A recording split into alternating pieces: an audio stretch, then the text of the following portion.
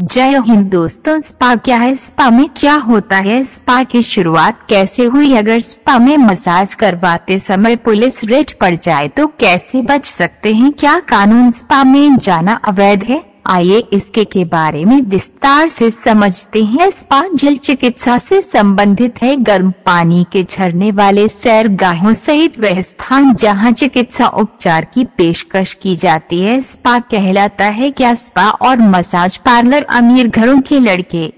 लड़कियों के वहाँ पर काम करने वालों के साथ अपनी काम वासना पूरी करने जाते हैं। किसी भी स्पा और मसाज पार्लर में आप किसी के साथ संबंध नहीं बना सकते, क्योंकि यह कानून के खिलाफ है। आप जो स्पा और मसाज वालों को फ़ीस देते हो, उससे आपको स्पा और मसाज की सर्विस मिल जाती है। हालाँकि मसाज करवाते समय उत्तेजना होती है, फिर चाहे वह स्त्री हो या पुरुष, लेकिन आप किसी के साथ संबंध नहीं बना सकते हो। अगर आपको मसाज करवाते समय उत्तेजना होती है तो आप प्राइवेट बातें करके उन्हें अपने घर पर या कहीं और बुलाकर उनके साथ संबंध बना सकते हो। इसमें दोनों की रजामंदी होनी चाहिए। ये स्पा के असली नियम, लेकिन आज इसमें कुछ और ही हो रहा है।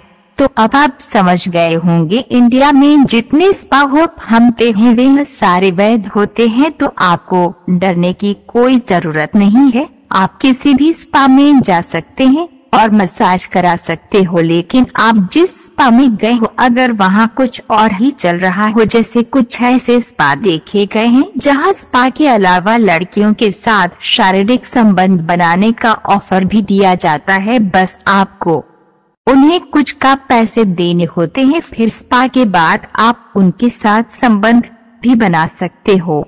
तो आप जब भी स्पा करने जाएँ तो एक बार स्पा के बारे में जानकारी निकालने के बाद ही जाएँ, नहीं तो कभी मत जाना दोस्तों। हमारी वीडियो आपको कैसे लगी प्लीज़ कमेंट के माध्यम से ज़रूर बताएँ। ऐसी दिलचस्प अमेजिंग वीडियोस देखने के लिए मेरे YouTube channel M G exam Karekar को सब्सक्राइब करें। धन्यवाद, शब्बा खैर।